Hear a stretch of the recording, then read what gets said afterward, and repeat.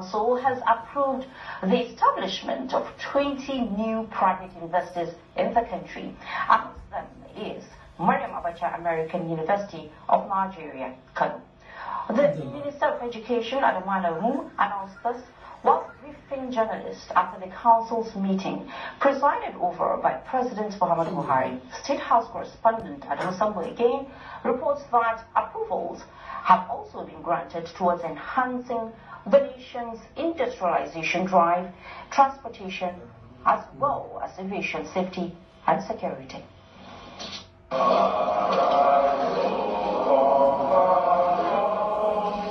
It was the third meeting of the Federal Executive Council for the year 2021 and 32nd to be held virtually in compliance with the COVID-19 Safety Advisory. Efforts at expanding access to tertiary education in Nigeria dominated discussions as the Council approved the establishment of 20 new private universities in the country.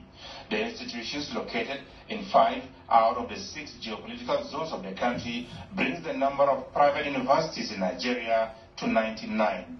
One of them, the Maryam Abacha American University of Nigeria, Kano in the Northwest, is the first officially approved bilingual university in Africa, accredited by ASIC of the United Kingdom and a member of the American Council of Education. Council has approved and they will now get their provisional licenses which they will use for the next three years while we are monitoring and evaluating how they are going.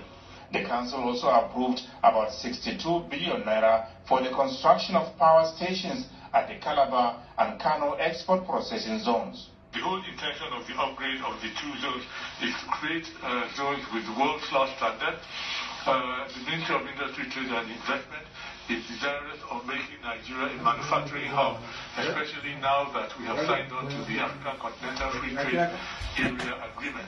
The Aluminium Smelting Company of Nigeria, Ikot Abasi, Akwa Ibom State, has been given the go-ahead by the council to commence aluminium production in the country. BP uh, has concessioned uh, that company, and uh, the company uh, sought uh, to be categorized as a power producer and as a strategic company, uh, which uh, Council approved, so that we can start the production of aluminium in Nigeria. Information and Culture Minister Lai Muhammad announced the approval of over 1.2 billion naira contract for the design, supply, and installation of PTZ long-range farmer camera sprayer system, as well as a mobile surveillance system at Lagos and Abuja airports.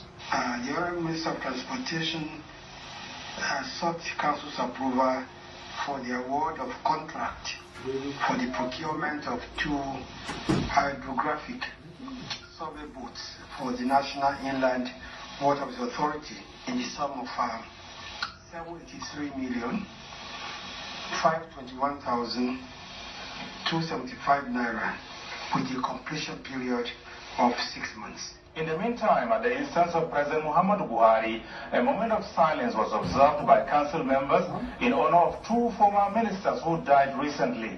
They were Alhaji Alpha Wali from Kano State, who served as Minister of Agriculture, as well as Prince Tony Momoh from Edo State, who was Minister of Information and Culture under the Babangida administration.